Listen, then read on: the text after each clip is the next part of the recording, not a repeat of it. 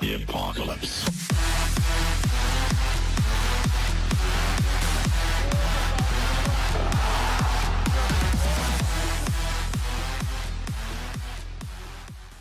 Antes de comenzar con el video, no olvides suscribirte y activar la campanita de notificaciones para que no te pierdas ninguno de nuestro contenido. El torneo otoño-invernal de la República Dominicana culminó con su primera etapa de la serie regular, donde los gigantes del Cibao quedaron como los campeones. Los Tigres del Licey fueron los agraciados en ser los primeros eliminados, pero eso no fue motivo para que dejaran de hacer estragos o jugar una pelota dura, ganándole a las estrellas orientales para enviarlos a la miniserie con los Leones del Escogido, donde se decide quién es el siguiente equipo en clasificar y quién se va del torneo.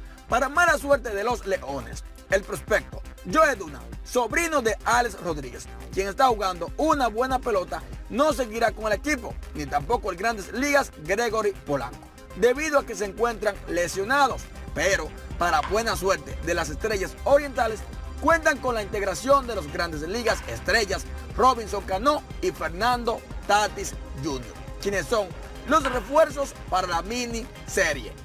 Los estelares jugadores de los Mets de Nueva York y de los Padres de San Diego fueron anunciados por medio a un despacho de prensa de Fernando Tatis Padre, vicepresidente de desarrollo de los jugadores de las estrellas. Desde hace varios días se había visto practicar y tomarse fotos juntos a este par de peloteros. Y era una integración que ya se esperaba.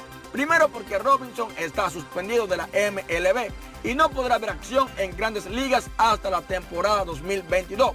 Y Tatis, desde que había hablado en un par de ocasiones dejando claro que no había ningún sentimiento negativo y todo marchaba bien con la franquicia Petro Macorizana.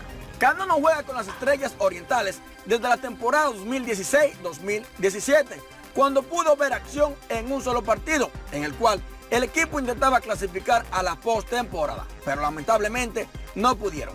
Cabe destacar que Tatis Jr.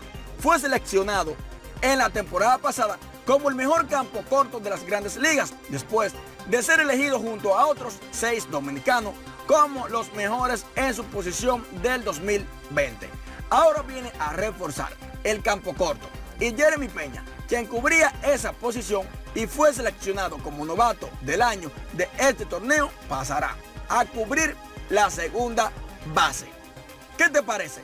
Nos gustaría saber tu opinión, así que déjala en la caja de los comentarios. No olvides suscribirte, compartir y dar like. Yo soy Marfil Moreta y esto fue Infantry Sport.